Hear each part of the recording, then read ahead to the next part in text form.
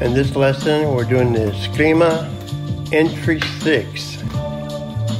You'll see hitting six different places.